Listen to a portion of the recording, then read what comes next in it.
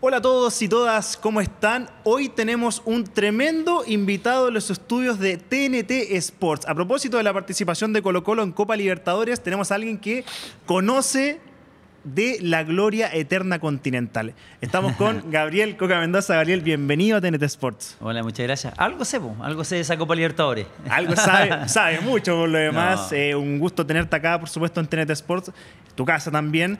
Y bueno, a propósito de esta semana, eh, hemos tenido mucho fútbol, hemos tenido mucho fútbol relacionado a lo que son la Copa Libertadores Colo Colo, en este partido, en la bombonera, ¿cierto? Donde viajaste.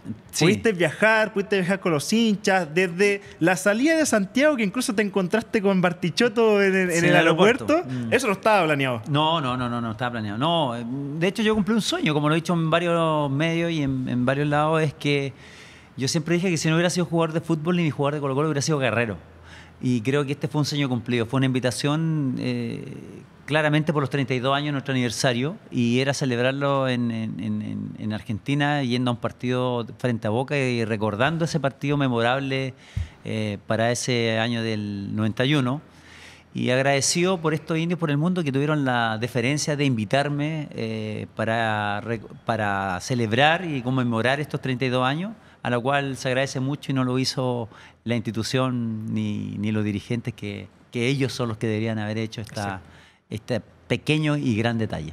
Pero es un detalle que se disfruta porque también, hay que recalcarlo, lo viviste desde la galería Sí. misma, donde estaba muy lleno de hinchas de Colo Colo. Más de 6.000 hinchas se estima que Sí. incluso viajaron, que cruzaron la cordillera para un partido que podría haber sido muy histórico, pero ya el solo hecho de jugar en la bombonera, de plantarse ante en este momento el campeón de Argentina, es un partido especial. Sí, yo siento que la realidad fueron, habían como 7.000 chilenos. eh, a donde andaba te encontrabas con hincha colocolino en el obelisco, increíble. eh, yendo al estadio fue maravilloso.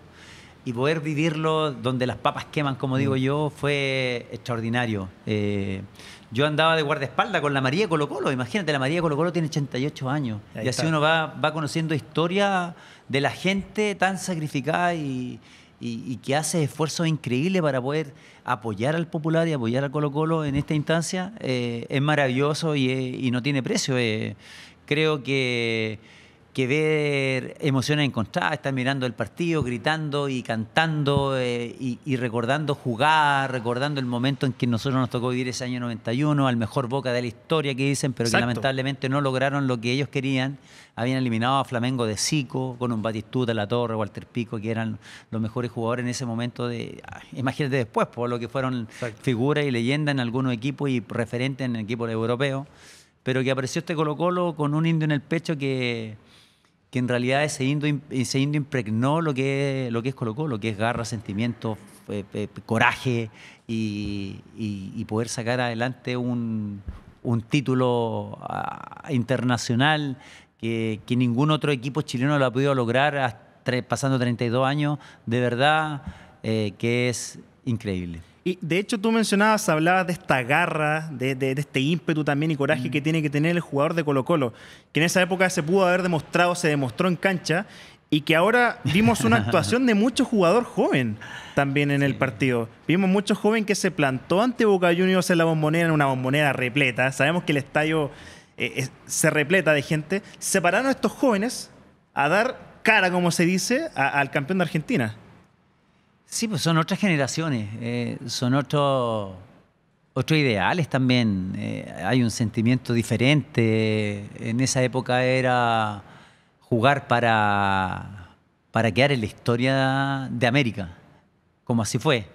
Eh, no pensabas en dinero, no pensabas en, en tener mayor fama, ni, ni egos. Nunca hubieron egos de por medio de ninguno de nosotros. Ni quién era mejor, ni quién era el, el- el- que aparecía más en la prensa, eh, como a la altura que, como en estos tiempos. Eh, y este Colo Colo es otra cosa. Este Colo Colo, uno mirándolo de ahí, gritando y cantando, es como que, que falta esa, esa garra, ese coraje, ese de, que si vas perdiendo, seguir luchando, seguir entregándote por completo, de seguir eh, en- en- te- te- entregándote por, por, por, por una camiseta, por una institución en la cual no se ve, no se nota, no, no está ese atrevimiento futbolístico, no está esa jerarquía de cada vez que tenéis la posibilidad de poder, que se crea la posibilidad, entonces no tenés que, tenéis que hacerlo porque si no después te pasa la cuenta y vas a perder o te van a hacer un gol. Y así fue, además con un equipo más, más bien discreto que, que- que- que las potencias que antiguamente existían o- con Boca. Sí, claro. Eh, y creo que en ese sentido nos hemos farreado la posibilidad de poder sacar buenos resultados a nivel internacional. Así pasó con Mónaco y, Pasó. y ahora pasó con Boca. Y de hecho, son estos jugadores jóvenes, lo, lo recalco Sí. lo de la juventud, porque Coca, tú tenías, si no me equivoco, como, como 23 años. Yo cuando cumplí maravilloso, el mejor regalo de mi vida de cumpleaños Fue fue haberle ganado a Boca en el Monumental el día de mi cumpleaños, que cumplí 23 años. 23 años y, y- y se habla Oye, también de. No, vamos es que la- no saquen vamos a cuenta, la gente eso, no saque cuenta. Yo creo que hay que sacar la cuenta, No, pero no por el aniversario de Colo, Ah, claro. sí. Pero justamente es, son 23 años en los cuales estabas en un plantel que venía de ser bicampeón Sí. y que siente de alguna forma que tenían esa presión o, o que decir, no, si no ganamos la Libertadores es un fracaso porque tenían el plantel para hacerlo. Eh, yo creo que, que yo siempre digo que estas son generaciones que se juntan una vez cada 15 años, cada 32 años, en el caso nuestro, eh, porque fue la mezcla perfecta, porque habían jugadores jóvenes como uno, y que yo venía de refuerzos, yo dije, yo dije que veníamos tres refuerzos solamente para Colo Colo, que fue eh, Pato Yañez, que era la, contratación bombástica de ese año, eh, Lucho Pérez, que no jugó ningún partido el Chico Pérez, pero jugó el se jugó el partido más importante de su vida y se- vida. y quedó marcado con dos goles. po. Entonces Claro. el Chico Pérez, lo único que hiciste dos goles, Chico Pérez, así que no te agrandé en la final. Y el otro fui yo, que yo venía de O'Higgins y que venía con, con ganas de comerme el mundo. Entonces ese equipo ya venía conformado de una eliminación con Vasco da Gama por penales en el año anterior, en el 90, que quedaron eliminados por penales en el Estadio Nacional. Entonces ya se conocían perfecto y, y- y es- y esta, estos refuerzos, verdaderos refuerzos, no, ya no, bueno, tirar nada. No, no lo digamos. Eh, por, eh, fueron como, como piezas que llegaron así al engranaje perfecto, donde el motor estaba funcionando bien y había que hacer esto para ajustarlo. Y Pero llegamos súper bien. Y, y eh, era como que yo había estado toda bien con, con- además con la identificación, con un yo cuando veo fotos del 91 es como que yo tenía el corte el, el- el- el de la cenica aquí ¡pac! y, la- y el pelo para atrás, donde el pato estaba flaco y Yañez, pato por la- Yañez, Yañez. y, pero era la mezcla perfecta. Y estos equipos son muy difíciles después de, de que se vuelvan a que vuelva a haber un equipo así, a Mm. excepción del 2006, por ejemplo, o el, do- el 97 con, eh, con eh, Benítez, que también llegaron a semifinal de Copa Libertadores, el 2006 con el Vichy en la Sudamericana. Entonces, es difícil de encontrar, pero, pero este, eh, lo- los jugadores jóvenes ahora no hay que cargarle tampoco la mata, ¿ah? porque creo que en este sentido los jóvenes les- les- se les está llenando de una, de una presión extra que ellos no, no la esperaban. No, y que no Porque- buscaban tampoco, Claro, que ellos no no- buscaban porque, porque los refuerzos realmente están todos lesionados, están todos Claro. afuera. Y entonces estos jóvenes asumieron una responsabilidad que no le ha tocado y que, que no les tocaba porque ellos tenían que ir madurando desde a poco, entrando con pocos minutos, jugando a poco, un tiempo, segundo tiempo, pero les llegó ¡pum! y tuvieron que asumirla y la están asumiendo y creo que en ese sentido les queda mucho aprendizaje todavía. Y y es una anécdota de 1991 de esta Copa Libertadores, este plantel que, que- donde se, eh, los refuerzos calzaron bastante bien, Sí. pero había también, me imagino, un muy buen ambiente en, el- en- en el No, inter- en la interna. Eh, Hay muchas anécdotas también que pueden haber ocurrido. Yo te quiero comentar por una que tocó. ¿Cuál de todas? Que tocó por las que se pueden contar. No, Mirko, se- Mirko Josic. Todos se pueden contar. Mirko Josic ¿Eh? En, el, en, en este eh, lugar de concentración que la Leonera. tenían, la Leonera, La Leonera. en Camino Pirque, si no me equivoco. No, no, no, la era- leonera en Granero, en la En- Escodegua hacia arriba, la cordillera. arriba de Codegua. Sí, sexta Ok. región. Al este- Vecino mío, al lado Granero. Ah, al lado Granero. Sí, Ya, conocía este perfecto lugar, esa, esa- esa zona, la conocía perfecta, conocía todo lo, todo lo escondido. No, mentira. pero en este lugar, ¿Eh? cuenta Mirko que en una concentración precisamente, eh, él llegó a su pieza Ah, los comandos, y los no, comandos. y- y- y no encuentra su, su colchón, Sí. no encuentra la ropa deportiva, y el primero que apuntó, Coca Mendoza. No le dijeron, ¿ah? Y, ojo. y- ojo que llama a, alguien de su staff para que cite una reunión. Mm. Y, usted tenía físico al otro día temprano. O sea, ¿Lo llama y estaba enojado o, se hacía como el que estaba enojado cuando eso? Eh, no, lo que pasa es que el último día de la pretemporada siempre atacaban los comandos. Y los comandos eran que todas las habitaciones se queda la escoba, pasaba un, un, tornado, un tornado. Entonces, justo la habitación de Mirko quedó un colchón arriba de un pino, la frazapa eh, con, con los pavos reales, la ropa de él en la piscina. Entonces dice, ya, ¿qué muchachos? Dice, ¿quién fue? Y todo el loro le dice, fue su hijo. Ah, Gabriel fue, dice Gabriel. Ya ahí quedó claro quién era el hijo de Mirko. Ah, Gabriel fue. Fueron a vernos pues, y, estaba un poco enojado, pero bueno, la historia dice que cuando nos fue a buscar, eso está en el libro, no estaba. Ah, y también comenta que él hacía este papel de que tenía que enojarse porque. No, pero era, enojón. Eh, eh, era, enojón. Pero por dentro le decía después, incluso en una entrevista, no, pero.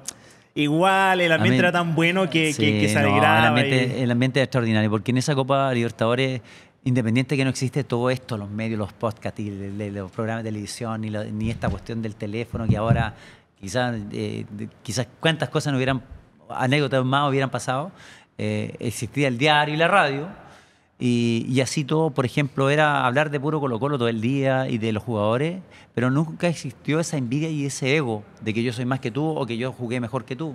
Siempre era todo lo mismo. Y el que se salía de ese camino, llegaban los más grandes, como el Chano, Morón, Dabrowski, Ormeño, y te llamaban a terreno. Te decían, oye, pendejo, así. En esa época no era pendejo, como ahora hay pendejo. No, oye, cabrón, culiado. esto nosotros estamos enfocados en esto. Este es nuestro camino. Es Copa Libertadores. Enfócate, porque si no nosotros te vamos a pescar y te vamos a pegar una. Disculpando, me van a pegar la rama, cabrón. Eran como papás, eran como los hermanos mayores. Y sin duda fue así. Entonces nunca hubo. No nos desenfocamos de lo que era nuestro objetivo principal, que era la Copa Libertadores, porque nosotros, cuando llegamos a la Leonera, a la pretemporada, eh, la conversación y el enfoque desde un principio fue, ¿qué vamos a lograr con esto? Vamos a ganar la Copa Libertadores. La vamos a ganar. Con certeza. con certeza. Lo decretamos. Ahora decimos decretamos, pero en esa época no, no, nos ponemos ese objetivo, ganar la Copa Libertadores, ganar Y así fuimos paso a paso, pero teníamos claro que nuestra Copa iba a ganar nuestra. Una gesta histórica, bueno, para recordar y ya, Coca, agradeciendo también tu tiempo, tu disposición que has tenido con TNT Sports también entregar finalmente un mensaje. Un mensaje no solamente para el jugador de Colo Colo, sino este jugador joven que tú dices de repente carga con una presión que no debería tener. ¿Qué mensaje le darías tú a estos jóvenes que quieren demostrar, pero a la vez cargan con una presión que de repente corta el proceso evolutivo que deben tener? ¿Cuál sería el mensaje para estos jóvenes que, que están ahí en Colo Colo? Bueno, siempre se dice que los jóvenes tienen que tener un sueño y el sueño principal es ser futbolista profesional. Para ser futbolista profesional lo primero que tienes que hacer es jugar. Y el tren dice que el tren, lo debutar es lo más fácil, debutar en el fútbol profesional, pero el tren sigue corriendo, lo difícil es mantenerse. Yo creo que en cualquier orden de cosas. Y creo que los jóvenes tienen que entender de que cuando tienen la posibilidad y tienen la oportunidad de ser titulares, es agarrar la camiseta y no soltarla más. Y sobre todo en la institución más grande de Chile, de Sudamérica y del mundo, como digo yo, que es Colo Colo. Tienen que agarrarla, no soltarla más, chicos, porque eso es lo que ustedes quieren. No piensen en dinero fama, mejor auto, mejor casa. Eso va de la mano, eso va después. Primero, pensar en jugar, primero en ganar cosas con la camiseta y todo lo demás viene de arrastre. Pero lo principal es ser titular y demostrar que por qué estoy en Colo Colo, por qué soy titular y por qué quiero ganar cosas con la garra, con la, con la pachorra, con el sentimiento que requiere eso y ver también que este es el equipo del pueblo, es el equipo de la gente sacrificada, esforzada, que junta peso a peso para poder seguirlo a todas partes del mundo en esta época. Ahora me tocó vivirlo a mí en Argentina y viviendo en la Garra Blanca y viendo un montón de gente, señoras de 88 años como la María Colo Colo, que a mí me saco el sombrero con la María Colo Colo, con una organización de gente que, que, por por sin recibir nada a cambio, mm. lo, lo, lo, organiza de tal forma para que puedan asistir y podamos vivirlo desde una mirada distinta. Así que Piensen en eso, piensen en esa gente, piensen en esas personas, piensen en el que se levanta a las 5 de la mañana y se acuesta a las 11 de la noche, eh, aunque parezcan frases cliché, pero ustedes, la profesión de ustedes es solamente jugar, entrenar, entrenar, entrenar, para poder tener la posibilidad de demostrarle a esa gente y defender la camiseta más grande de Chile y del mundo. Palabra autorizada entonces de Gabriel Coca Mendoza. Te agradecemos tu No, a tiempo, tu disposición. Y bueno, a esperar que ese sentimiento se impregne también en los jugadores jóvenes de Colo Colo. Queda tiempo, queda mucha oportunidad también para estos jóvenes para que puedan hacer su debut y, cómo no, poder ayudar, en este caso, a la institución de Colo Colo. Muchas gracias, Coca. Y esto fue entonces una nueva entrevista acá en TNT Sports. Muchas gracias.